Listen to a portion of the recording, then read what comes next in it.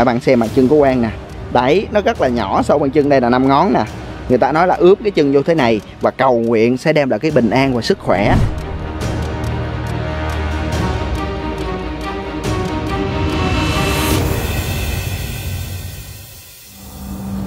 Nó giống bàn chân lắm. Đây nè em có chân đây đây nè cái gót nè gót chân nè. À. đây là cái cái cái ờ, cái ờ, cái ờ, năm ngón nè. Nó nó nó nữa nè nè có hết À. trơn nè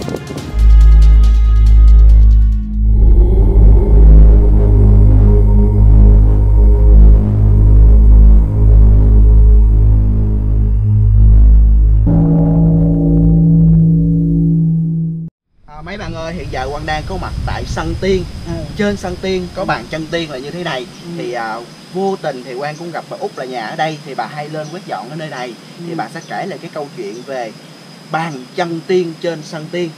Ok rồi bà Út ơi thì hôm nay thì con cũng có một cái duyên. Đến đây con gặp bà Út. Ừ. thì à, bà Út năm nay bao nhiêu tuổi rồi? Năm nay 84 bà Út năm nay 84 tuổi rồi. Sẽ kể lại câu chuyện ha. Ừ. sao bà Út rồi tôi nói mày nghe ông ở đây hồi đó ông thầy ông ở với ông thầy à, ông út mày nghe dạ. Hồi 6 tuổi ông ở đây hồi từ hồi nhỏ tới lớn.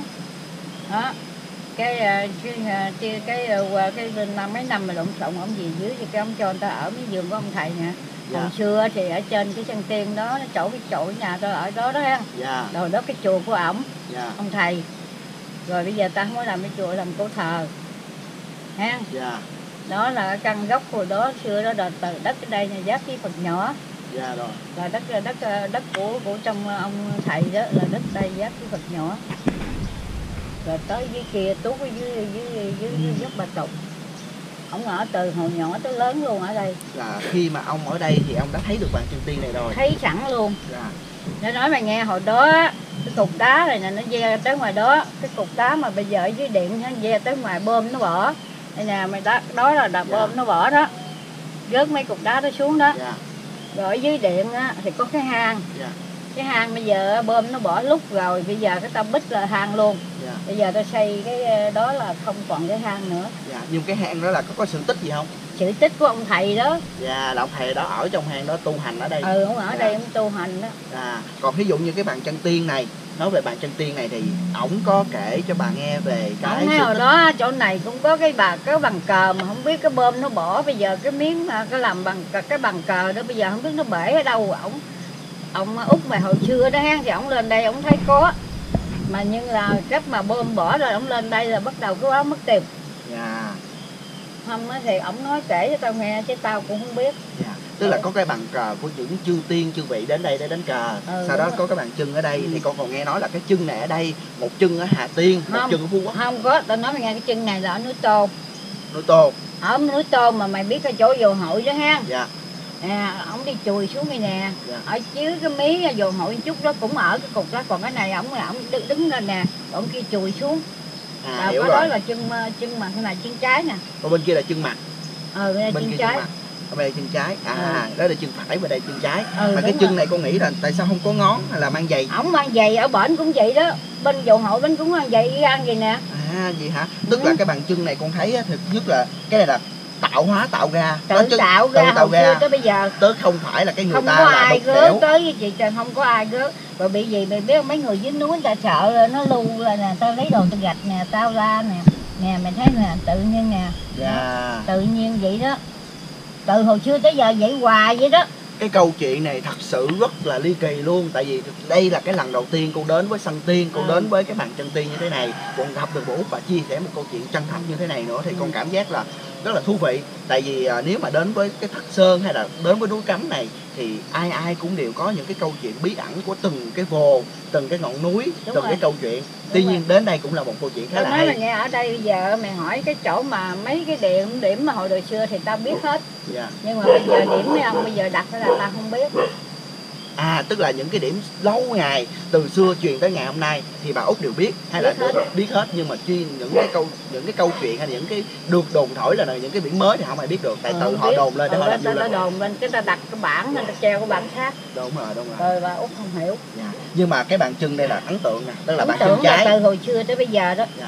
bà năm nay là 8 ta hồi đó là tao mới có chồng lên đây ha là 20 tuổi là cái này cũng còn y gan như vậy không ai gan như vậy luôn? Y gan luôn rồi À. cái ổng ờ, ông, ông thầy ông lên ông dẫn ông chỉ là y gan luôn bởi vì mấy người mà trong đồng đạo vô làm nữa đừng có chừa. Cái này là cái sự tích của ông bà hồi xưa tới bây giờ. Dạ. Ông thầy á ổng ở Vị Thanh. Cái ổng lên đây ổng ở ổng tu. Ổng tu đó rồi cái ổng tu nó nghe hồi đó là ổng tu là ổng ba mấy tuổi rồi. Dạ. Rồi ông út mày á thì ổng mới có có 6 tuổi à mày Dạ. tính đi. Nó rồi ở với ổng làm thầy trò ổng rồi ổng cạo đầu ba giá dạ rồi. Rồi cái đi đâu á thì à, mang bị ông thầy Dạ. đi nha đó. Rồi cái tới chừng mà lộn xộn cái chào 45 á cái thầy trò chạy trốn chạy xuống. À tại pháp. Ừ, 45 chào là còn pháp. Ừ Dạ. đó. Rồi ông chạy xuống.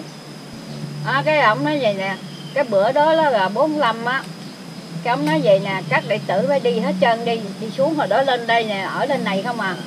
Cái ông kêu cái dì bảy tôi nè với ờ, ông già chồng tôi nè với mấy gì tôi đó mày xuống hết trơn đi. Cái nói thôi sao mà, mà xuống chi vậy? Nằm mơ này tao thay xác đổi hồn tụi bay đi đi. Không nói vậy cái là không chịu đi. Nó à, cái ổng á ổng nói thầy nuôi tôi nhỏ tới lớn tới 19 tuổi rồi bây giờ thầy cho tôi đi tôi không đi ở đây chứ ổng không bây giờ không có đi. Phải đi mới được. Để mình nên tao ở đây tu thôi. Cái ổng có cái có cái, cái, cái gươm ổng bây giờ nè. Cái ông chiều cái ổng múa ổng múa ổng đuổi hết chân xuống. Ổng nói phải xuống hết chân bây giờ không xuống cái mấy quản hồn mới đi xuống mới nói rồi bây đi xuống không có đứa nào chở lại đây nha. Dạ. Thì ổng đi xuống rồi ha thì bắt đầu sáng lên là ổng mất tên luôn. Tới bây giờ luôn không biết ổng ở đâu mà ổng chết ở đâu là ở đâu không biết. Trời ơi nó còn gỡ ngốc luôn lại một câu chuyện cực kỳ hay và và về tâm linh Không, luôn. Ừ. tức là ngày xưa thầy nhưng mà thầy đó là ừm, bà biết là thầy gì không? Là Ừ. một trong 12 vị đệ tử của đức phật thầy tây an. Đúng là ổng đây ổng tu và khi mà ổng tu ở đây giống Ừ. như bà út kể là đến lúc ổng thoát xác ông nói đuổi đệ tử thì ừ, hết đủ đệ tử đi hết trơn và ổng ở đây và cuối cùng người ta đến đây và không gặp ổng không thấy ổng bình siêu chúng nha biết không ở dưới sóc miên này nè thương ổng dữ lắm tôi nói mày nghe mày hỏi sóc miên này nằm mày nói ổng là biết sóc miên ùng ùng hết sóc đi định tìm ổng mà không biết ổng à tức là mỗi vị đệ tử đều có một cái tích xưa và Ừ. riêng à, Ừ. ông ông thầy ở đây thì lại có một cái tích khác mà sau Ừ. khi mà à, đi hết rồi thì tất cả 12 vị tử đó cũng đi theo đi Ờ, đến mất tích ừ. 12 vị đệ tử đều mất tích hết ờ. không ai biết tông tích của 12 vị tử có của đại Quỳnh an Sáu nó cũng mất tích luôn có Quỳnh Dạ. Sáu đâu Quỳnh Quỳnh Sáu mà ở với ổng là cũng mất tích luôn dạ rồi quá hay luôn thì à, cái ngày à, chia sẻ ngày hôm nay à, chia sẻ với bà út cũng Ừ. là một cái câu chuyện khá là ly kỳ về Ừ. cái núi cấm này Ừ. về bàn à, gọi là bàn tiên bàn rồi bàn chân tiên tức là săn Ừ. cái tiên sân bàn chân tiên là cái bàn chân chân tiên thì cái săn tiên ngày xưa là đã có được một cái giống như cái cái cờ bằng đá để người Đúng ta rồi. những chư tiên chư vị trên trời xuống đây để đánh cờ ừ. tuy nhiên thì à, sau một cái loạt chiến tranh người ta đã bỏ bơm ừ, thì tiêu nó đó. đã không còn nữa ừ. Ờ, chỉ còn được cái dấu ấn của cái bàn chân trái của bàn chân tiên Ừ, thôi nhưng mà ở trên ở trên trời con nghĩ người ta mang giày mang giày cho nên cái thì dấu hồi này đó mang giày vậy sao mình không biết đó là hồi hồi ông thầy cũng vậy cũng thấy y gan vậy đó và đây là cái dấu giày chứ không Ừ. phải là cái dấu ờ, bàn chân. Không rất là to. chân. Còn bên ờ, bên đâu mà có một cái bàn chân phải con quên rồi. Bên núi tô. Núi Mày- Tô. mày đi qua cái dầu hội đó ha. Dạ. Rồi cái mày xuống cục đá nó nghe cũng lạ lại hơn cái này nghe. Dạ. cục đá hơi lại gì nè rồi mày thấy thấy cái chân ở đó là bên chân mặt đó bây giờ mày thấy cũng y gan như vậy mà nó cũng có cái ờ, hơi khơi vậy Dạ. thôi nè nhưng nhưng mà cái tất cái câu chuyện này thì ờ, được thầy kể lại ừ. kể lại là có thầy kể lại cho mình cũng không hiểu không biết là có thật hay không nhưng mà Ừ. đó là một cái câu chuyện mà gọi là đi vào lịch sử và trở thành một cái nơi mà đồng đạo ờ, ở những cái vùng cái khu vực khác đến đây để để thăm ừ. cũng như là những người khách đến Không, đây mà đi du lịch cũng đến đây đâu thăm lắm đệ tử ổng ở thành phố rồi cũng có hết trơn đó Dạ. mày biết không ở thành phố là tôi nói mày nghe không biết cái đời ông nội ông ngoại gì của cái cái cái, cái mấy người đó đó, người ta làm đệ tử của ông thầy á. Dạ. ổng đi kêu á. Ổng râu ổng dài tới đây nè ổng nay một trăm mấy chục tuổi rồi đó. Dâu ổng đầu ổng bọc như cúng bông ha. Cái ổng đi lên trên thành phố ổng kêu ổng nói à, tụi bay á sao mà không lên cúng ờ, trên trên trên trên cúng tao? Dạ. Rồi nó ngay chắc cháu chắc gì mình cũng không biết nha mà mấy nhỏ nó nó cũng ông già mà già mất sớm mà nó cũng không hiểu. Dạ. cái lên cái ổng nó lên đây nó lên đây nó bao xe lên cái ta đi trên trên bên kia kìa. Dạ. cái nó đi về nó đâu có qua tới đây Dạ. đi về về tới thành phố rồi bố cái ổng mới à, tối ông kêu nữa ông nói trời ơi sao mày đi lên mà mày không ghé tao? Trời ơi là hiện về luôn nói ừ luôn. hiện giờ nói luôn. Cái nói à, mày sao mày không về mày mày ghé qua thăm tao? Mày đi đâu vậy? Mày chỗ tao không biết Nó nói gì tôi đi tới nhưng nó không phải. Đây là tao tả hình dáng cho. Cái ổng mới tả hình dáng cục đá này nè. Dạ ổng à. cho cô đó nằm trên bao thấy cục đá vậy ha. Đi cái cô đó đi xe hồi đó tôi chưa cho mới xuống tới chỗ cái chùa đi ha. À. Cái giờ mình thấy cô đắt đâu đâu đâu đâu đêm hôm tôi nằm thấy cái này gỗ gằn cái ngừng ngừng ngừng ngừng xe Quá này cổ kể lại chứ tao có biết cái hết đâu hồn luôn. Ừ hết rồi hết hồn. Tao giục mình nó ông nội ơi nội ông nội này sao mà ông đi lên tới chợ nó kêu tôi nói cô à chắc hồi đó ông nội luôn cố gì cô hỏi là gì không biết nha. Tôi về tôi bị tôi cũng còn nhỏ tôi không biết cô cũng đệ tử mà đều bị gì hồi đó quá đông nhưng không hiểu. Gọi là mấy trăm năm trước rồi chứ ừ bởi vì một trăm mấy chục năm À. nay rồi. Ông Rồi. bà út ơi thì à, thật sự là hôm nay bà út chia sẻ rất là vui. Thì Ừ. con mong là trong tương lai bà út cũng giữ gìn sức khỏe. Nếu mà Ừ. còn có cái cơ duyên đến đây nữa thì con sẽ ghé thăm bà út lâu hơn. Mày ghé thăm đi. Dạ. Mày ơi tao nói mày nghe à, mày á phải mà mày ổng còn sống rồi ổng kể cái sự tích mà ở bên bậc lớn á. À, ông đức minh hay là ông ba đạo hay là ông ấy á, ổng kể cho mày nghe mày mê luôn. Là ông út đúng không? Ừ À, ổng Út. mà mình À. ổng mất sớm. Dạ. Tức- Thôi bây giờ mà ổng là- cũng kể lại cho tao nghe ổng cũng kể mà tao cũng nói. Ổng nói hồi đó đó ông đức minh ông đem châu lên cho ảnh mà bị ổng ở đây hồi 6 tuổi mà. Dạ, chiều hay tối là ông đi qua bển á, đi Dạ. chơi với mấy ông đó uống trà với ông nít mà phá đi. Mà mười mấy tuổi à, ở đây mà ông dám nội qua bển á dạ. đi uống trà với mấy ông nội đó còn ông mà rồi dẫn linh bây giờ hắn là cậu ba là ông ăn chầu. Ông đi đâu có thích bờ chầu. Dạ. ông ăn chầu bố bố chùa à. Văn Linh bên kia là chùa Phật lớn. Chùa dẫn Dạ. không chùa dẫn linh đó là chùa- chùa hồi đó chưa kêu chùa lá. Chùa lá đúng rồi chùa lá. Sư tích ngày xưa gọi là chùa lá. Ừ đúng rồi Dạ. sự tích chưa là lá. Cậu ba đó. Ổng á, mày biết không? Ở đại tử ông đông lắm đó.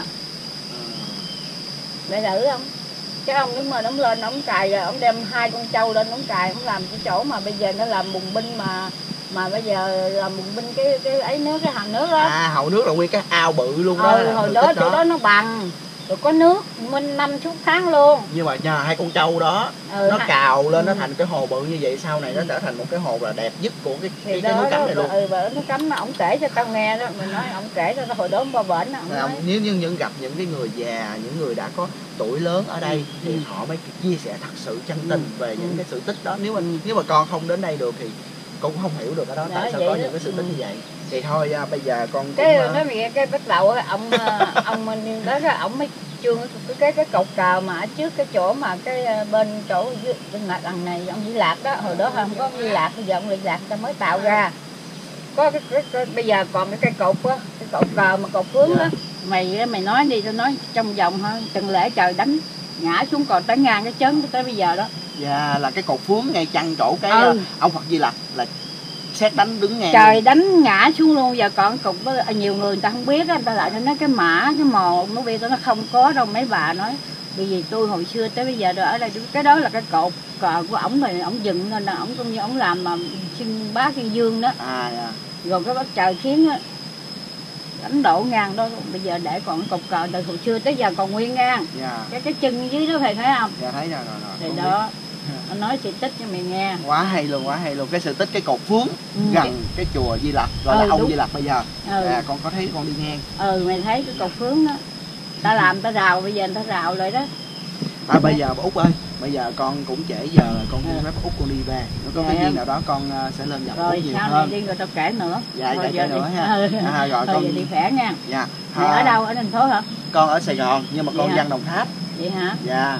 Vậy sao con thì sống con học rồi con sống con làm việc ở Sài Gòn. Vậy hả? là con ờ, quê hương thì con ở Đồng Tháp. Thì con có cái cơ duyên thì đến với vùng Thất Sơn này con quay những cái ờ, cái chuyện kỳ bí bí ẩn về những cái sự tích. Cái sự tích hồi dạ xưa đó. hồi xưa thì ờ, hôm nay con rất là vui khi gặp bà út. Mong là con có cái duyên lớn hơn nữa để một cái dịp sau bà út kể con lại những cái sự tích trong Ờ, cái kể, núi cấm này. bên núi cấm bà út năm nay là 82 84 84 tuổi rồi. Mà bà út vẫn còn đẹp. Ừ. vẫn quá đẹp luôn. Ngày xưa là Mình bây giờ ta gọi là hot girl á à, mọi người ơi thì hiện tại quang đang ở núi cậu và ngồi trên cái tảng đá có một cái bàn chân khổng lồ. Người ta thường gọi là bàn chân tiên trên núi cậu. Thì à, người dân địa phương á, thì gọi là bàn chân cậu. À, thì trong khoảng thời gian gần đây á, thì Quang có đi lên trên núi cấm á, ờ, có đến cái chùa Phật nhỏ và gặp bà út kể về cái câu chuyện là bàn chân tiên trên cái núi cấm đó. Thì à, mấy bạn cũng có xem video của Quang rồi đúng không? Thì cái bàn chân đó thì nó khác hẳn với bàn chân này thì đó là một cái bàn chân cũng khá là to cũng cỡ kích kích cỡ bằng cái này nè. Nhưng mà nó có một cái là nó nó tròn nó bo tròn lại và nó lợt hơn và nó có cái dấu trong vòng một cái bàn chân dày vậy thôi. Còn cái dấu bàn chân này á, nó đặc biệt hơn là nó có năm ngón luôn. Một hai ba bốn năm là năm cái dấu chân của chúng ta và nó rất là to như thế này. Thì à, nói về cái sự tích về bàn chân tiên trên núi cậu á thì quan cũng có làm cái sự tích đó ở cái video trước rồi. Thì quan sẽ để ở cái link mô tả mấy bạn có thể là tìm lại và xem ha à, cái thứ hai nữa là về sự tích của núi cậu này và sự tích núi Bà Đen. Nó có một cái sự liên quan mật thiết với nhau. Thì Quang sẽ kể sơ lại để mấy bạn có thể là hình dung. Còn mấy bạn muốn mà xem kỹ lưỡng hơn biết về cái câu chuyện sự tích đó mấy bạn có xem ở cái link mô tả của Quang luôn. Thì à, tương truyền á, ngày xưa á, thì à, à, núi cậu á, thì người ta thường gọi là núi cậu cho nó thân thiết gọi là cậu á.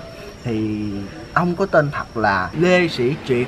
Thì sau này người dân địa phương còn gọi là cậu bảy cho nó thân mật thì ông có một cái võ công rất là tái thế, cũng như là được người dân địa phương đồn đại là ông vừa giỏi văn, vừa giỏi võ. Và một hôm á, có một cái người con gái tên là Lý Thị Thiên Hương lên đây để cúng chùa.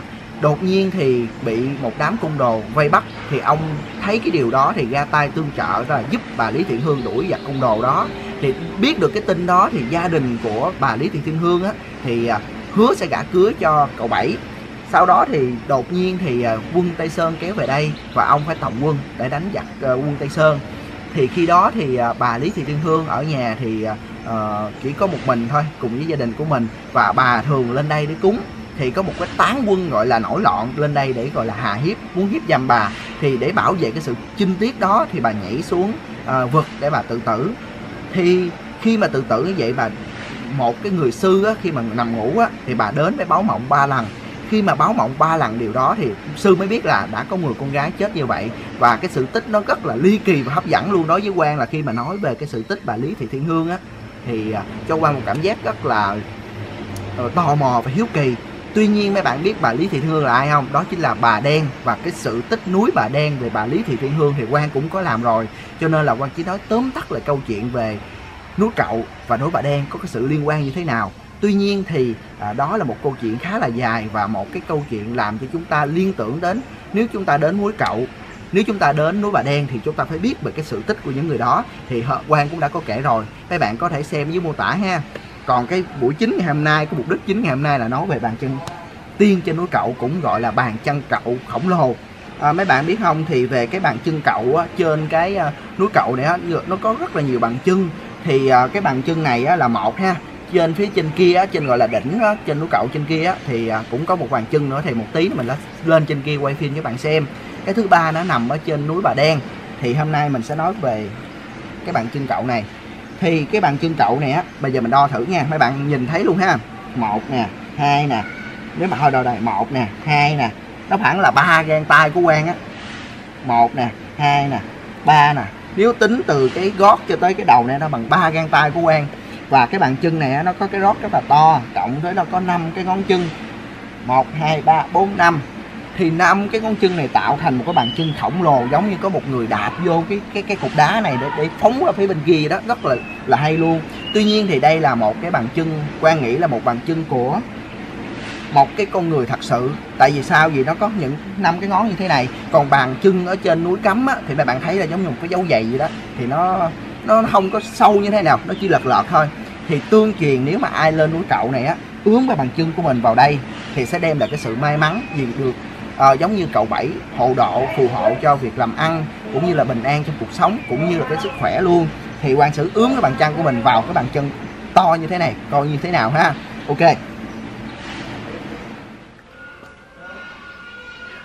Rồi hiện tại quan sẽ ướm bàn chân mình xuống cái bàn chân của à, khổng lồ này ha đây mà bạn xem bàn chân của quan nè. Đấy nó rất là nhỏ so bàn chân đây là năm ngón nè. Người ta nói là ướp cái chân vô thế này và cầu nguyện sẽ đem lại cái bình an và sức khỏe. Thì cái bàn chân này là bàn chân phải của con người ta.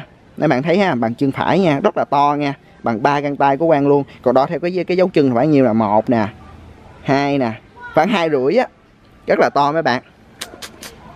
Wow wow thì uh, thật sự nói về bàn chân tiên á, là những cái sự đồn đại của những người dân địa phương cũng như ông bà những cái người cao niên những cái người mà gọi là tiền bối của mình đồn đại. Tuy nhiên cái việc chứng thực có hay không thì mình không biết. Còn việc giờ ở đây mình thấy là bằng chân này khổng lồ là có thật nè. Nó mấy bạn thấy không? Rất là ly kỳ luôn. Nếu, nếu mấy bạn miền Tây nha cái fan hâm mộ miền Tây của Quang á có lên đây thì hãy đến phía sau của cái chùa. Đây phía sau chùa nè.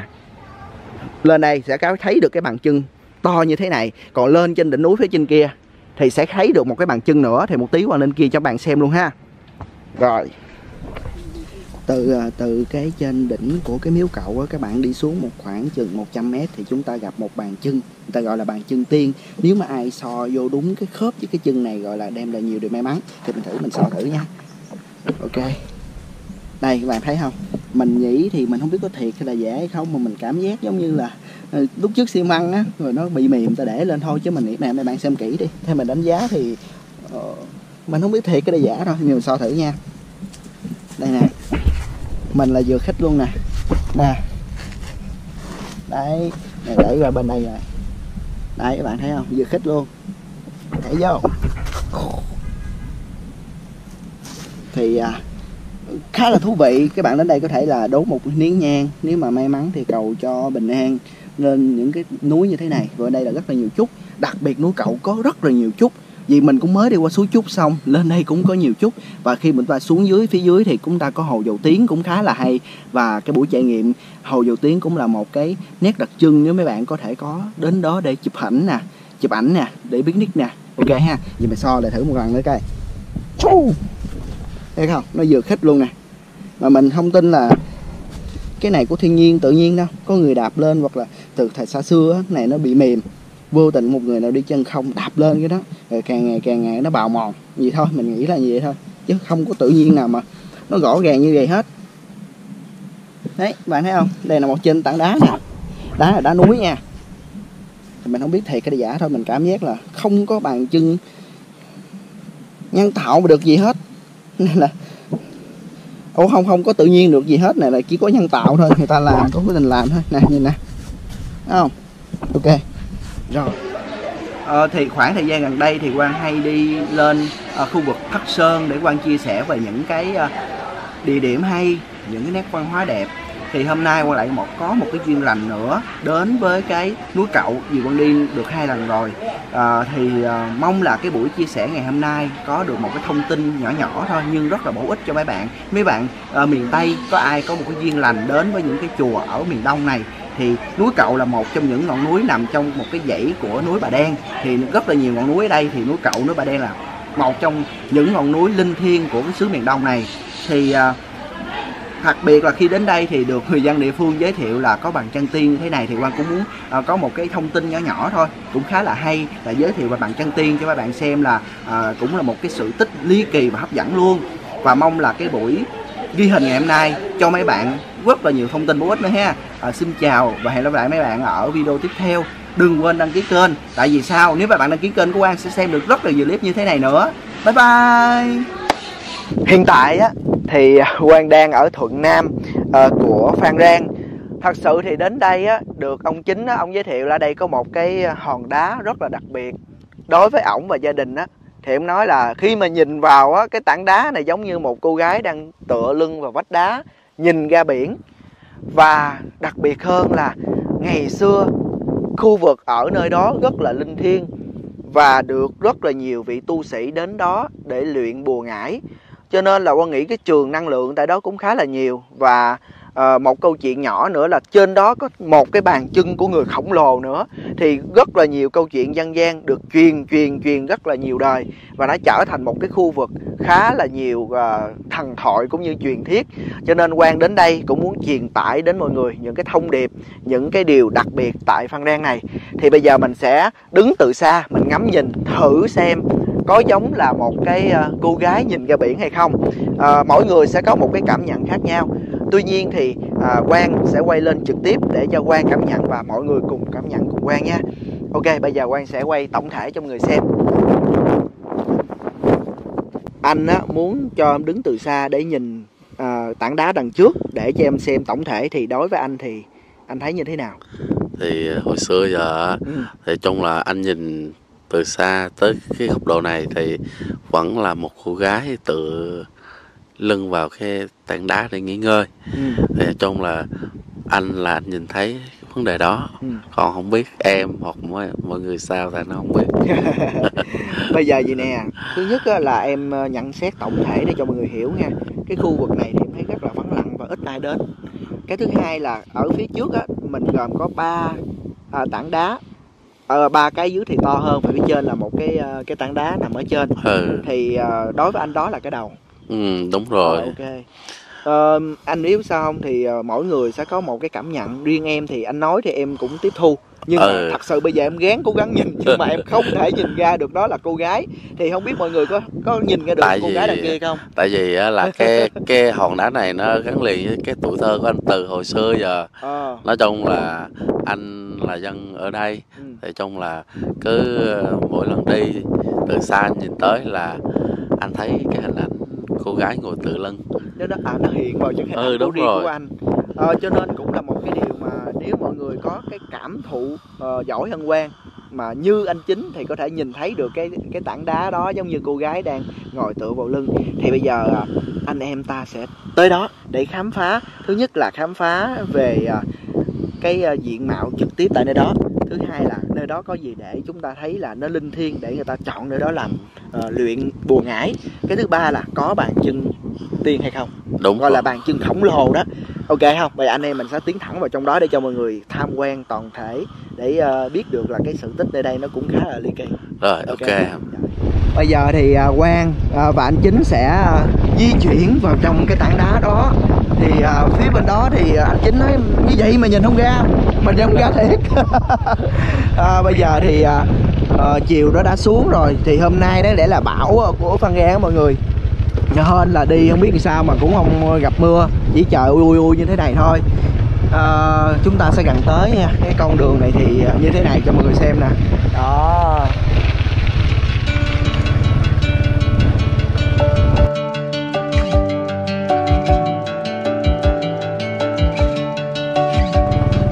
Bây giờ thì Quang à, đã tới à, cái à, tảng đá lớn như thế này rồi. Nhìn gần rất là to luôn mọi người ơi.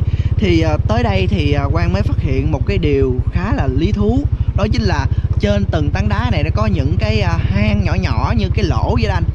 Em thấy là nó nó giống như là thiên tạo á. Chim Nó- ở em. Chim ở trong đó đó hả? À, có cái nào trong đó có ngọc không ta? Không uh, yến thì có. Vậy ha. À, thì à, trong đó nó có những cái lỗ lỗ lỗ nhỏ ở trong thì có thể là chim ở nè rồi kiến ở nè. Thì à, đến đây thì Quang à, muốn khám phá những cái điều ly kỳ tại khu vực này. Để mình xem cái trường năng lượng ở đây nó như thế nào mà những vị tu sĩ những vị luyện bùa ngải thường tới đây. À dừng đây anh dừng đây anh dừng đây anh. Rồi rồi rồi rồi bây giờ có nha à, bây giờ thì Quang vừa tới đây thì Quang thấy có một cái hang mà không biết nó dẫn tới đâu ok ok. À ok ok. Mọi người ơi vừa tới đây thì mình hơi có một cái gì đó trong lòng là rợn ốc và giống như là thôi thúc mình đến trong kia. Thì bây giờ mình và anh chính sẽ đi vào trong kia xem thử là mọi thứ nó như thế nào mà gọi khu vực này là khu vực linh thiêng của uh, Phan Rang. À, sau đó thì chúng ta sẽ Ờ, tiến hành xem thử có bàn chân khổng lồ trên cái này hay không. À, cái cây này có có thể trèo lên đây được không ta? Em nghĩ là có thể là trèo được nhưng mà nó rất là nguy hiểm. Thì mình à, trèo lên thì coi cũng vậy thôi. Thì bây giờ mình sẽ khám phá và mình uh, xem thử cái cảm giác mà mình đi trong cái lòng của cái tảng đá này như thế nào? Ừ. anh em mình tiến hành vô trong kia. Rồi. ok anh. Thế này. Thì đi sâu vào trong kia thì nó không có dừa. Vậy quan mới bước vô đây rồi thì không đi sâu vào trong đây thì không có dừa. Cho nên quan sẽ à, à, quay tạm thời cho mọi người xem được cái à, cái hang này nó nhỏ thôi. Nhưng nó cũng khá là à, lý thú. Tại vì cái cái đường kẻ giữa hai cái tảng đá lớn này cũng à, thú vị. Và đây giống như một cái cửa nào đó. Nó rất là thần bí nha. Lý do tại sao con nói điều đó tại vì trước tiên á chúng ta sẽ thấy được cái tảng đá phía trước đây nè. Tảng đá phía trước này đang như nó ngăn giữa hai cái miệng này lại. Đây là hai cái miệng của tảng đá. Đây có một tảng đá lớn nó ngăn lại. Và giống như là một cái khu vực đây là à, mọi người không nên vô đây. Có cái gì nó nó cấm cản lại của thiên nhiên tạo dựng thì đó là cái suy nghĩ riêng của quan thôi. Còn chính xác hay không á là à, mọi người có thể cảm nhận được cái sự linh thiêng cái sự kỳ bí cái sự quyền bí và những cái câu chuyện quan muốn truyền tải đến mọi người. Ở đây thì à, quan không muốn là nói về những cái gì nó quá ma mị nha. Đó chỉ đơn giản là à, mình cảm nhận được khi bước vào đây thì nó có cái gì đó nó âm u và tĩnh mịch đó anh ha? Ừ. anh cảm giác cái sự âm u hả? Nói thiệt đi. Anh không dám chứ bước vô mà. Thì bây giờ đi chung em đứng trong đây em nói. À. anh không dám bước vô ok em đồng ý. Ừ. nhưng mà giờ em sẽ đứng trong đây em nói để cho mọi người biết. Anh chính là cái người dân tại nơi đây từng lớn lên và sống tại nơi đây mà khi bước vào đây ông dội ra ông đi thì quan đã bước vào trong đây rồi thì quan à, muốn chia sẻ mọi người là cái hang nó như thế này. À, không phải là như thế nào nhưng mà quan trước khi vô đây quan cũng phải cúng những cái thổ thần thổ địa và những cái những người tại trong khu vực này. À, có thể là giúp quan hoàn thành tốt cái công việc này để cho mọi người xem cái hang này nó nó linh thiêng. Tại vì mấy thầy thường đến đây luyện hả? Ờ. Luyện trong khu vực này ở trên nóc hay là luyện trong không luyện trong khu vực hang này. Có thể trong hang này. Ờ.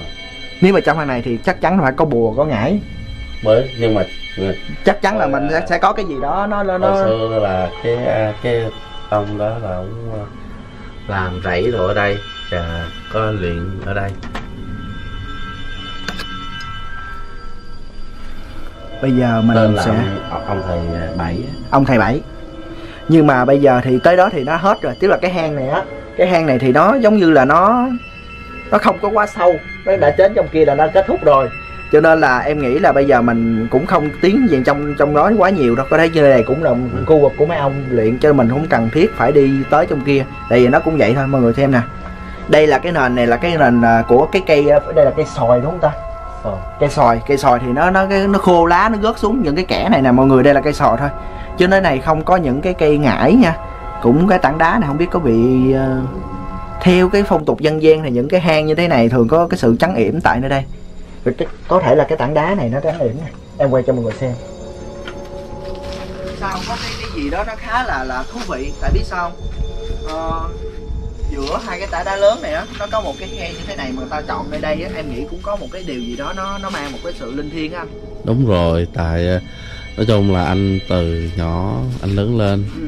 ở khu vực này thì chung là cũng nghe ông bà ta kể thì chung là canh ngày thì làm rẫy ở đây rồi tối lại thì, à, những người mà thầy á thì người ta sẽ à, làm công việc của người ta gọi là tu tập. Thì nhưng, nhưng, à, nhưng mà em hỏi đây là người ta dùng bùa gì? Bùa chàm không. hay là bùa gì? Hay là Ờ. ngải gì? Ờ, thì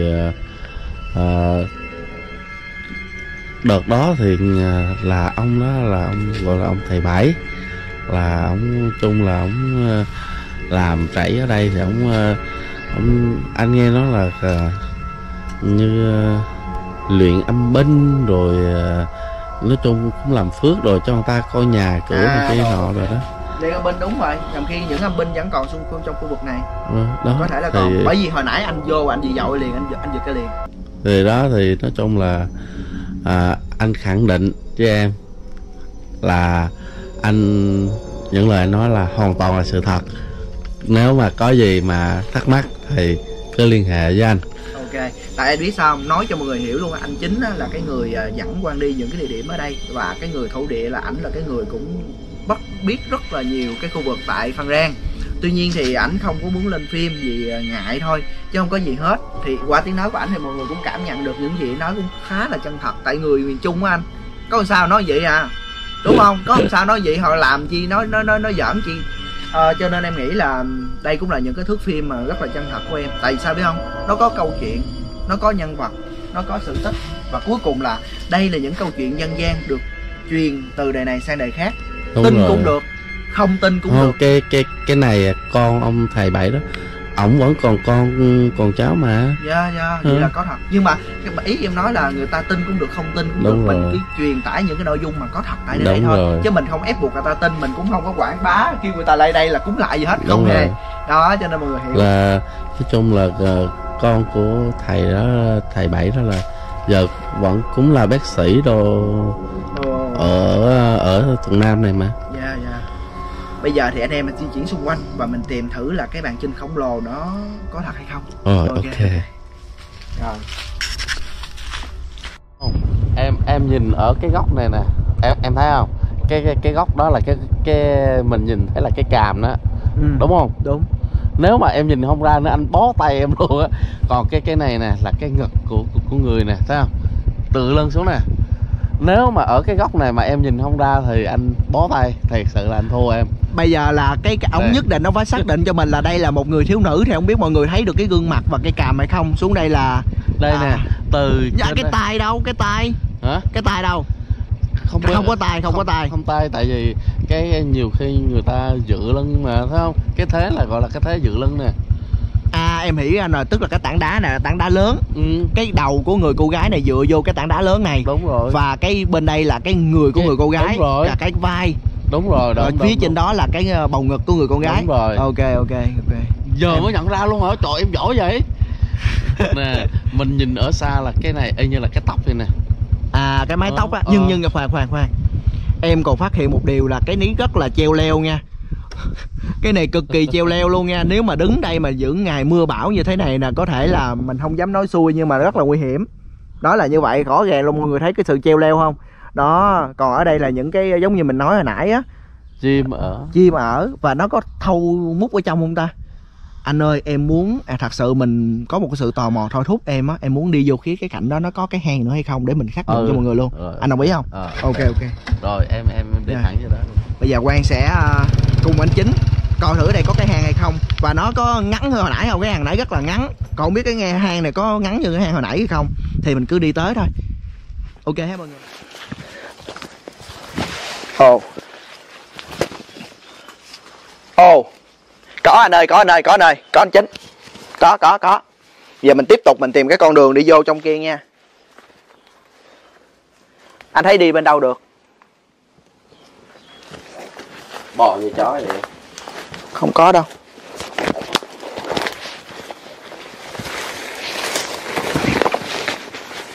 Đi bên đây được không?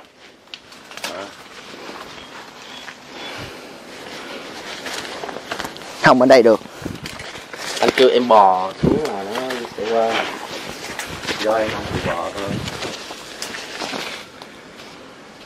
Vô đây đi anh vô bên đó dễ không? Bên đây nó có một cái lùm. Anh coi bên đó dễ không? Dễ mà. Vô vô thử. Sao mày bắt tao vô hoài vậy?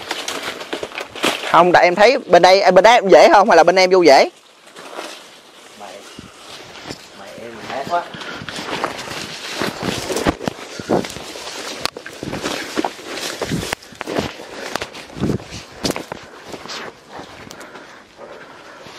Cây này là cây cam rừng này rất thơm.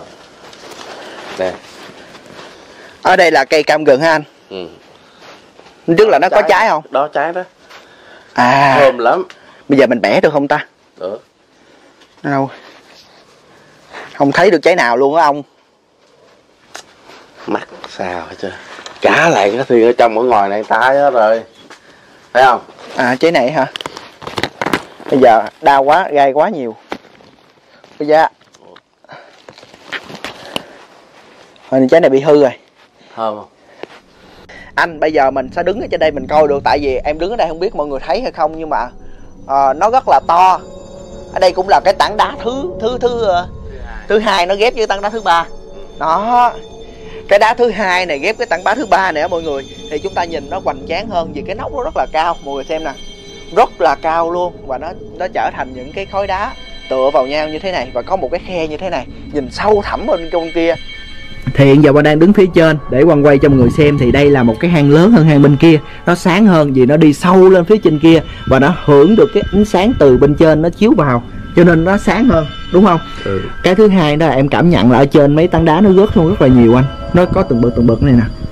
Nhưng mà đây này nó có bật đi mà. Dạ. Lớn nếu mà nếu mà nếu mà đi như vậy lên rất là nguy Nguy hiểm. hiểm rất là nguy hiểm nó sẽ chọt Ừ. với rớt bất cứ lúc nào tại đá này không chân và nó nó ngã từ trên ngã xuống cho nên điêu cái đường này lên múc ở trên cũng rất là khó. Ở đây nó không có sợ hơn mà bên kia? Đúng rồi. Bên kia quen với anh nói chuyện mà gung luôn á mọi người. Cảm giác bên đây là nó nó không có đáng sợ bên kia. Ở đây nó rộng nó thoáng hơn bên kia nó quá tĩnh mịch rồi. Cho nên đó là cái sự cảm nhận của những người đi quay phim như mình mới biết được cái sự chân thật của cái vị trí mình đang đứng. Đúng. Đó. Chứ nhầm khi người ta ở nhà người ta nghe người ta cũng không hiểu nữa. Ở đây thì có thể là yến năm xưa nó nó vô đây nó làm tổ nhiều được nè mọi người đúng không? Hiện giờ là đa phần là bồ câu. Gì hả? Ờ. chưa có dơi không ta? Dơi hả? Ừ ừ. Dơi thì chắc không có đâu. Ừ. Ở đây thì em nghĩ chắc cũng chưa ai vô đây đâu. Chắc chắn một điều luôn. Thì bây giờ bây giờ mọi người có thấy rõ ràng không? Bây giờ máy bay á quang đang cho bay lên à, tảng đá này để quang tìm thử có thật sự là có cái bàn chân khổng lồ hay không? Để cho Đúng. mọi người xem ừ. thì trước nhất á, thì khi mà em bay lên như vậy á ờ, em cảm giác được là tảng đá này khá là lớn nha tảng đá là lớn lắm á bây giờ Quang sẽ lui ra xa cho mọi người xem toàn cảnh của cái cái cái cái tảng đá này như thế nào rồi mình bay xung quanh cho mọi người hiểu được là ô cái sự kỳ bí và đặc biệt của cái khu vực này tại sao nơi đây không có núi mà lại có ba bốn cái tảng đá như thế này đúng không ừ giờ mình quay xung quanh cho người xem đi. Ở đây là có những cái tảng đá nhỏ phía bên đây nè anh. Phía bên ờ, bên tay trái của màn hình á. Ừ. thì chúng ta sẽ thấy được là một số tảng đá nữa. Nhưng mà em nghĩ thì ờ, nó không có to bằng cái tảng đá này.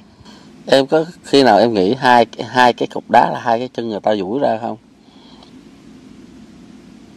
Có khi nào không? Có Đấy, có đó đúng có. không? Đó nếu mà ở ở góc này là hơi ra hình nè phải không? Đúng không? Cũng có thể cũng có Có thể là không? hai cái tảng đá đó là ờ, cái, cái hai cái chân của người ta. Nó, nó đứt gọi là đứt khúc.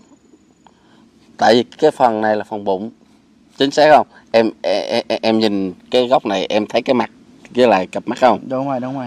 Nhưng bây giờ ở trên đây thì em cảm giác là chưa thấy được cái bàn chân này nè. Không biết cái truyền thuyết về bàn chân khổng lồ nó có thật ở trên cái cái khu vực này hay không. Bây Ừ. giờ anh em mình gắng cố gắng đi tìm buổi chiều hôm nay anh anh thấy cái bầu trời nó tĩnh mịch luôn kiểu giống như là nó nó đen tới mức độ mà mình không thể tưởng tượng luôn á. Tại bão mà. Ừ. Mà em cũng cũng giống như con phần may mắn tại vì ra đây cũng cũng là mưa bão nó nó nó nó nó nó, nó hoành hành. Mà cuối cùng rồi ra đây thì vừa nguyên bữa nay lắc gắt lắc gắt thôi. Anh thật sự phía trên này nó có hai tảng đá và phía trên thêm một cái tảng đá nhỏ nữa nha. Ừ. đúng không? Anh nhìn kỹ đi tới ba tảng đá nằm phía trên đặng thật sự ở trên đây á quan xin lỗi mọi người có nói lại nghe trên đây gần từ tới năm tảng đá đặng bây giờ thì à, em thấy hiện giờ trước mặt là có một cái cái dấu đen mà không biết nhìn xa giống cái dấu bằng chân hay không. Bây giờ em sẽ di chuyển lại gần. Ok đồng ý không? rồi ok. Nó có hai dấu nha nó hai cái đụng nước. Mà không biết là chính xác hay không thôi. Mọi người có thấy rõ không? Cái này có phải là bàn chân không ta giờ mình bay lên cao nữa thử coi nó như thế nào. Ừ. tại em nghĩ là cái cái cái chỗ mà hiện giờ mình đang đang đang nhắm tới đây là cái lỗ. Thử bây giờ mình đi ra không tin là đi ra thử là biết liền. Em nghĩ là cái lỗ. Đi ra thử là biết là chắc chắn phải là cái lỗ hay không. Thấy chưa? Ừ. là cái lỗ thôi chứ không phải là cái gì. Bây giờ mình lên trên. Bây giờ mình bay lên trên thử coi nó nó phía trên đó nó có hay không. À đây còn cái lỗ nữa nè ở đây còn cái lỗ nữa. Em để thấp xuống thôi. bây giờ em sẽ để thấp xuống coi anh coi mình sẽ thử thử thử thử nó nó như thế nào. Ừ.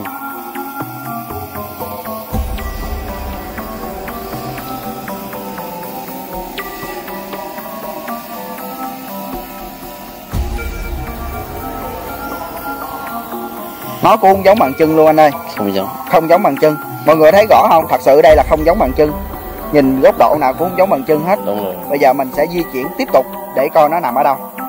Bây giờ lên cao nữa nha. Lên thêm một bậc nữa là giống như nói là cái đầu đó. À.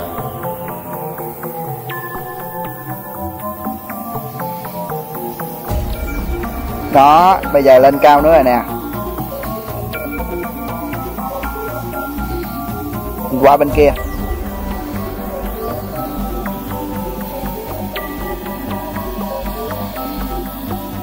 không có.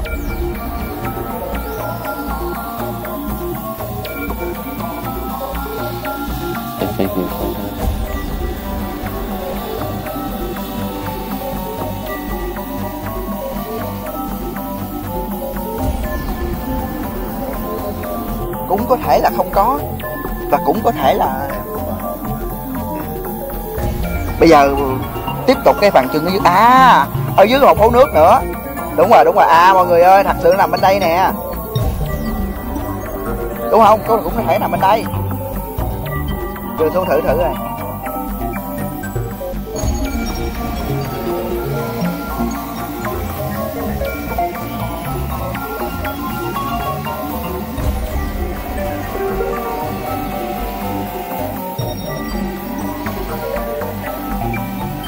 Ồ, có khả năng nghe.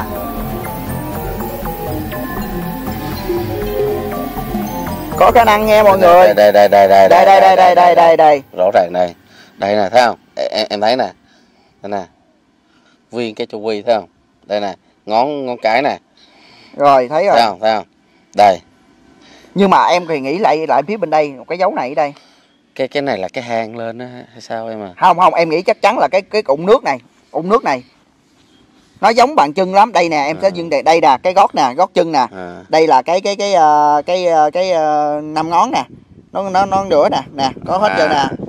nếu mình nhìn thật sự mình nhìn bây giờ anh em mình bây giờ không thì anh theo anh nghĩ là cái cái cái cái cái bàn này là nó nổi. Còn cái bàn này hình như là dặm sâu nè. Tức là hai bàn. Một Ừ. bàn là nổi và một ờ bàn đây dặn sâu này xuống. em em em em không tin em zoom va lại bên này em em sẽ thấy đâu đây em cứ ấy lên đây anh sẽ chỉ cho đầu cây gốc hồi này thôi ta.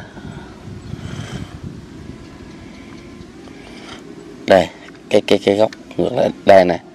Đây em nhìn nè. Cũng có thể tức là mỗi người một nhận định đi. Ừ, bây giờ rồi, em rồi. thì xác định là cái cái dốc nước này là cái bàn chân ừ. còn anh là xác định một cái dấu phía bên đây là bàn chân. Nè, em em em em em em nhìn gốc cái gót nè. À, ok thấy không? thấy rồi thấy rồi. Thấy không bây Đây giờ anh em bây giờ anh em mình muốn thật sự là hay nữa. Anh em mình chơi luôn chiều nay mình chơi cho tới luôn anh em mình leo cho đó luôn. Rồi, chơi ok. không? Bây giờ chơi không nè? Chơi. Chơi ok Rồi, bây giờ ok. bây giờ quang sẽ xác định lại quang và anh chính sẽ leo lên chỗ đó cho mọi người xem thử cái gót chân này có thật sự là trên đây có một cái truyền thuyết là bàn chân khổng lồ hay không? Rồi. để cho mọi người biết được là phan rang mình vẫn có những cái địa điểm đặc biệt. Bây giờ thì à, quang cũng là thử thách với ông chính.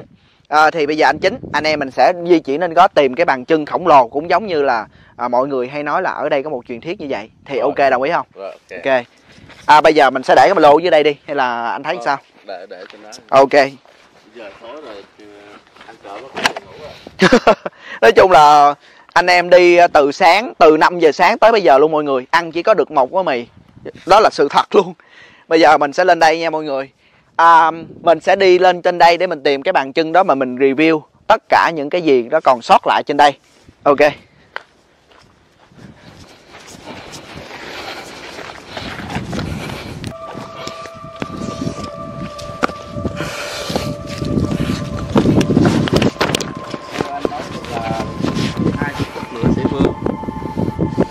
bằng chân này. Đầu tiên mọi người lên đây nè.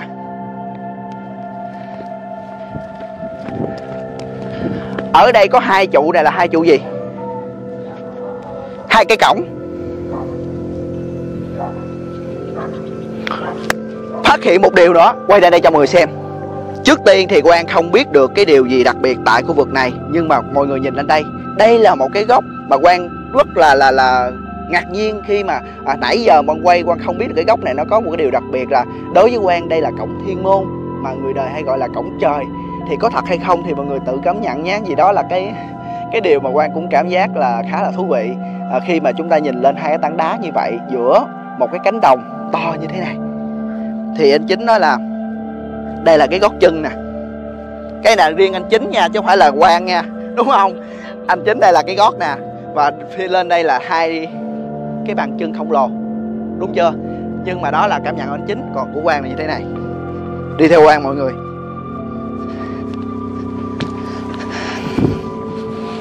Đây là cái hồ nước động mưa. Nó mang một cái dáng dấp hình của bàn chân khổng lồ, bàn chân phải như thế này. Và đây là cái à, ngón cái, cũng có thể là ngón cái. Cái hình tượng này được người dân xung quanh à, nói lên đây là cái sự tích mà hầu như những cái con người khu trong khu vực này đều biết đây là cái bàn chân không đồ của Phan Rang. Thì à, đúng hay là không thì đây là một cái câu chuyện được truyền miệng được à, chia sẻ. Thì uh, trong thiên nhiên trong thiên tạo để nó có những cái hình tượng giống giống như con người ta. Thì uh, à, mọi người khắp nơi từng địa phương thì nói đó là bàn chân tiên vì bàn chân tiên sẽ to hơn bàn chân bình thường. Đó là như vậy. À, bây giờ thì quen uh, muốn chia sẻ thêm một cái nữa là hiện tại thì cũng là gần 6 giờ mưa đã lắc phắt bước xuống. Ngày hôm nay đó với Quang á là cả một cái công trình luôn á mọi người. 5 giờ sáng thì Quang cùng anh Chính di chuyển tới các địa điểm quay. À, đồng thời thì quan Quang không biết cái sự tích này có gửi đến những cái điều đặc biệt đó mọi người hay không nhưng đó là những cái kỷ niệm mà Quang và anh Chính cùng đi qua. Ăn cũng ít mà uống không có bao nhiêu hết. Rồi à, ở gì nữa anh Chính? Trải qua những cái biến cố trên chặng đường đi lạc rồi uh, cho nhau những cái cái động lực để cố lên. Mọi người sẽ làm được. Và cuối cùng ngày hôm nay thì chúng ta cũng hoàn thành xong cái cái clip tại cái khu vực này với ba thứ. Thứ thứ nhất đó chính là bàn chân khổng lồ. Thứ hai là khu vực linh thiêng dành cho những người dùng nơi đây để luyện bùa ngải. Thứ ba là đối với anh chính thì ờ, à, ổng nói là đây là cái tảng đá của cô gái đang tựa lưng vào đá thì à, cũng là một cái câu chuyện khá là hay của Phan Rang để gửi đến mọi người. Đúng hay là không thì ở cảm nhận của mỗi người. Quang bây giờ đã hết giọng rồi. Nhưng mà rất là vui khi uh, tối nay này mình nhậu bữa. Ok không? Ok. Và cái thứ hai nữa là uh, ngày mai Quang sẽ dự lễ hội KT một lễ hội rất là hay của người Chăm Ba. Thì cái áo đó được đồn thổi là áo bằng vàng còn cái mão là bằng đồng đen cho nên hai cái vật đó rất là quý giá gọi là báu vật của người Chăm Ba luôn. Thì được giữ một nơi kín đáo. Còn có thật hay không thì ngày mai sẽ là một cái điều bí ẩn mở đến dành cho mọi người. Bây giờ thì đi về và chúc mọi người bình an chúc người sức khỏe tràn đầy hạnh phúc. Bye bye. Chúc buổi chiều thật là à, ấm áp nha. Phan rang sắp mưa rồi phan rang ơi. Ta đan thành. Đi anh thì hiện tại bây giờ là 5 giờ rưỡi chiều rồi. Thì quang đang trên đường đi đến một cái à, tổ đình của Thiên Thai Tông. Thì Quang mong là sẽ có những cái thước phim hay về cái tông phái của Việt Nam. Thì à, trên cái đoạn đường đi á, thì Quang ghé núi Chân Tiên. Thì núi Chân Tiên á, là một nhánh nhỏ của núi Minh Đạm tức là một con núi tách rời ra. Đến đây để chi? Đến đây để giới thiệu cho mọi người thêm những cái di tích rất là hay. Đó chính là một truyền thuyết về chân tiên bàn cờ tiên hay là có những dấu gậy của những ông tiên luôn. Và lên đây mình sẽ kể cho mọi người nghe về cái sự tích đó. Cũng như là biết được là trên cái đoạn đường đi tới bên kia thì chúng ta sẽ bắt gặp những cái tảng đá rất là to như thế này. Giờ chúng ta lên trên kia nha. Nó nằm ở khúc nào sư huynh? Nó nằm à, kéo bên đây. Cái đường cũng à, ở đây có hai đường đi. Một là đi cái đường đá như thế này, hai đi đường chùa phía bên kia. Thì quan trọng đi cái cách hoang sơ. Thích đi gì nè? Nắm lên luôn đây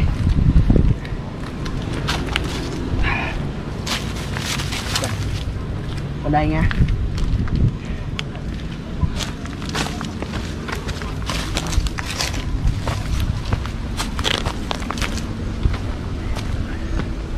Bên kia thì bây giờ có một ngôi chùa khá là lớn, đi đường bên kia cũng được, không đi đường bên đây bên đây nó còn hoang sơ.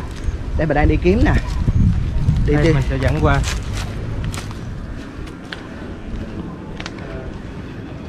Mình nhìn cho kỹ nha. Đây. Đây là một dấu chân. Ô dấu tương con nít nè. À. là tiên đồng ha. Đây một dấu. Hai dấu tương tiên đồng. Rồi. Và một dấu chân phóng qua bên bờ đá kia nó hơi mờ hơi mờ mình ha. nhảy qua bên đó mình chỉ và quan quay uh, zoom. Tại vì bên đó nó không nó bị rong rêu bám lâu ngày rồi. Ok Đây, để dấu gậy trống nè. Dấu gậy luôn. Thấy không? Bước qua bên đây. Thấy dấu chân không? Một chân trái Hai. chân phải phóng rồi rồi Anh. qua bên kia đây. Cái sự tích nó như thế nào? Anh có đây kể sơ cho mọi người biết được không? Thì nghe như truyền thuyết những câu chuyện xưa truyền thuyết kể lại hay là khi xưa nơi đây còn hoang sơ cảnh vật thì đẹp cây cối rồi lớn. Cho nên là cảnh vật đây đẹp lắm. Tiên những cái tiên xuống đây chơi. Thì những cái tiên nhỏ thì chạy chơi chạy giỡn chơi. Còn những gì tiên lớn thì ngồi cánh cờ trên tảng đá. Cho nên ở đây còn lưu lại những cái bức như dấu chân tiên này và dấu gậy trống. Thì bên tảng đá bên kia sẽ có cái dấu chân lớn và còn sót lại cái bàn cờ. Dạ. Đó thì Thì bây giờ mình sẽ qua bên kia. cái dãy núi này của dãy núi của cái núi chân tiên này. Cho nên là sau đây mình sẽ qua kia mình coi cái vết bàn cờ để lại về cái một cái dấu chân lớn. À Đó, Là của tiên ông. lớn á, của là của tiên ông. À em hiểu rồi. cho nên là bây giờ mình sẽ đi qua đó mình coi. À. Lại những cái vết còn sót lại. Rồi bây giờ nè, tức là anh nói như vậy để cho em nói lại cho mấy bạn hiểu là ở đây là cái khu vực của ngày xưa của các ông tiên ông dẫn những cái tiên đồng xuống đây chơi. Thì ông tiên thì ngồi bên kia ngồi đánh cờ với những tiên ông khác. Còn mấy cái là tiên đồng. Tiên nữ là chạy chạy chơi. Chạy chơi. Còn để lại những cái dấu này. À. Trong câu chuyện nó là nghe là kể lại là như vậy. Cho nên À. mình sẽ đi quay lại những cái đó xác minh lại coi là những chính xác hay không? Còn để lại. Như vậy là nó có dấu gậy luôn nè. Là ông trống luôn nè để dấu này dấu gậy. Mà phải là dấu gậy không anh đây là hai dấu nghe gậy nói, nè nghe nói là do là nó để lại dấu gậy cho những nhưng mà bàn chân làm xác nhận rất là đẹp. Mọi người biết không? Hiện giờ quang đi á mình thấy là đây là một cái bàn chân rõ ràng luôn là chân của con nít luôn mọi người. Thật sự nhìn vô là mọi người biết liền rất là dễ thương luôn. Có móng chân cái có năm dấu chân mà nhỏ xíu như thế này nè rất là nhỏ luôn.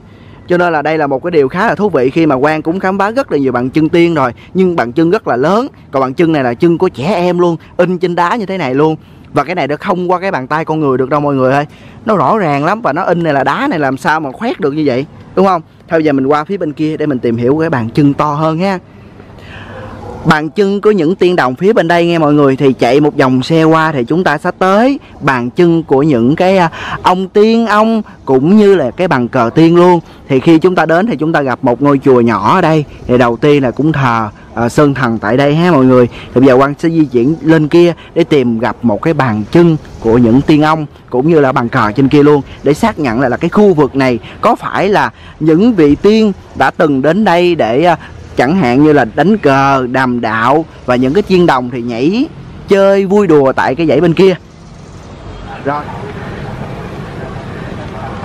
Bài này nó kẻ lại nhìn nó khá rõ. Em nghĩ bàn này có kẻ lại. Ừ. bàn cờ này có kẻ lại mọi người.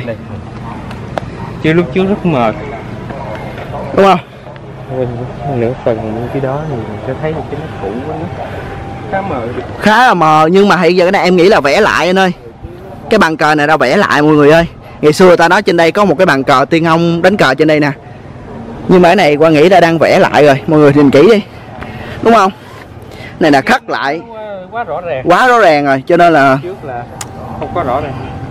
mình ờ, khi mà in trên đá lâu năm nó chỉ mờ mờ thôi còn cái này mình nhìn quá rõ ràng rồi. Nó sẽ theo thời gian bị phong quá thì không thể nào mà rõ được như vậy Dạ. Ở đây á một cái tảng đá nghe nói trước đây cũng có rất là nhiều cái à, bàn chân mọi người. Thì à, ở đây đương nhiên sẽ có những thổ địa chỉ mình rồi nhưng mà bây giờ nó bị mờ hết rồi.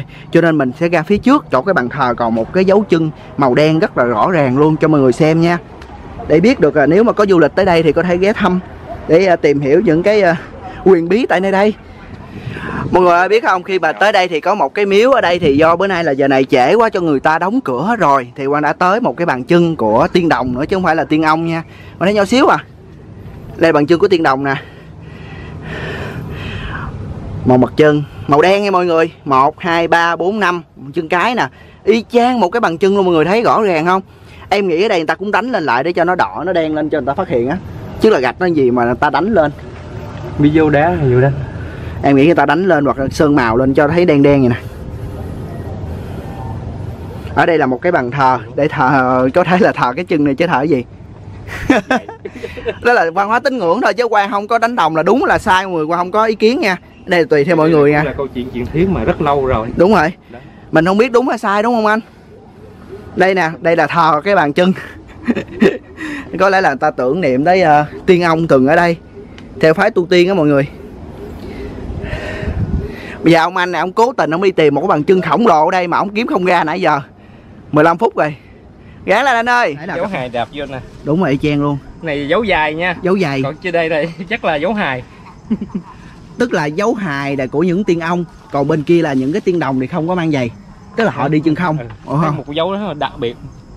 Đúng vô đá khoảng chừng hai sao cô ông cũng đi tìm được cái chỗ này hay thiệt á. Có thể là đạp cái chân nó chân phải nè. À, và cái đây có chân trái không? không không thấy để từ từ nhìn ông đức bây giờ thì hai anh em mình đang đi thẳng xuống chỗ uh, săn tiên Săn Đúng Tiên đúng rồi. Mình đang xuống Săn Tiên. Thì à, nơi này cũng là một trong những điểm à, du lịch của dầu hội. Những à, cô anh chị cô bác nào mà biết về tâm linh á, thì mình lên đây mình sẽ cúng những cái điểm. À, còn nếu mà tuổi trẻ thì có thể đây là một cái điểm phượng rất là lý thú về giống như là mình cái những cái địa điểm mình trở về nguồn vậy đó. Vậy ha. Dạ. nhưng mà thật sự á, cái đường này mà đi lên á nhìn cái không khí nó mát mẻ thoải mái ghê ha. Đúng rồi à, nhìn thoải mái. cảnh xung quanh đây nè ông thấy không? dạ. Ôi ôi đó là cây không tức là không có một bóng người luôn mọi người. Nếu mà đi phải có người dẫn đường thì hiện giờ bạn đi bạn đi với bạn Đức tại bạn Đức cũng biết cái khu vực này mới đi Dạ, được. dạ, còn nếu đúng. mà không biết là khó lắm á. Dạ đúng đúng. Đó cho nên là thật sự là rất là may mắn anh em hôm nay là có một cái cơ duyên đi chung với nhau. Thì Dạ. mong là cái cuộc hành trình này anh em mình khám phá khắp miền Đúng. gọi là Thất Sơn Thất để Sơn. cho nó có cảm giác là mình có những cái kỷ niệm để trải qua cùng nhau những cái vấn đề về huyền bí tâm linh tại Thất Sơn này. Đúng rồi đúng và rồi. tiếp tục ha hành Đúng rồi. của mình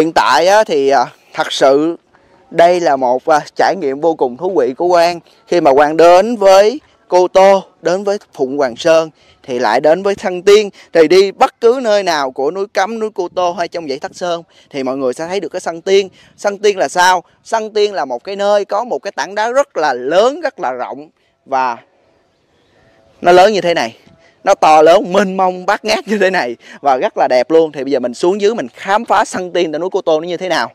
Và đặc biệt nha nơi đây có một một cái tâm linh rất là thú vị. Đi thôi mọi người ơi! Ở trên đây á, là mọi người à, cũng gần tới cái chân ở dưới rồi. Đi một tí xíu là mọi người sẽ đi xuống phía dưới luôn. Ở đây một tí mình sẽ có một cái câu chuyện tâm linh cực kỳ hay và huyền bí của núi Phụng Hoàng Sơn. Wow wow wow.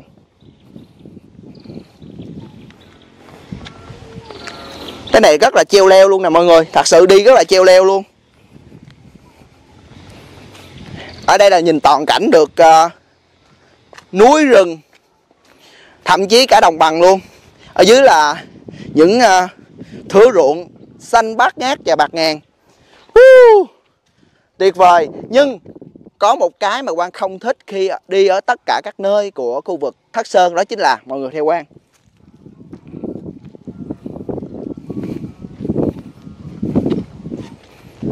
phía sau quan đây. Mọi người thấy không? Đây là rác. Lý do đơn giản là một số à, phật tử hay là một số người đến đây du lịch đó thì họ không có những cái ý thức thật sự khi mà họ cúng lại uống nước xong thì họ không có một cái nơi để gom lại và họ dục ở nơi đây. Làm cho nó mất đi cái cái mỹ quan, cũng mất đi những cái đẹp đẽ của cái du lịch tại nơi đây. Quan mong là khi mà những người đến đây thì mọi người có ý thức một tí xíu thì sẽ bảo vệ cũng như là có được những cái nét đẹp để mình có được một cái nơi để khi mà người sau đến thấy nó đẹp đẽ rồi ha mình qua phía bên đây để gặp cậu ba để cậu ba chia sẻ một cái nét tâm linh tại đây cậu ba ơi con thấy ở đây á là hình như là con nghe nói là đây là dấu giày đúng không cậu ba Đúng, đây là dấu giày à, của các kỳ tiên. Dấu giày này dấu giờ phải bước về núi cấm. dạ nhưng mà nó to vậy đâu đâu cậu cậu đây, cậu ba vẽ đây ha. Đây, có lần đây. Đây ha, nó, thấy không? Nó có hình nhưng mà lâu quá, nó thấy không? Nó, đây nó có nút đế giày, thấy không?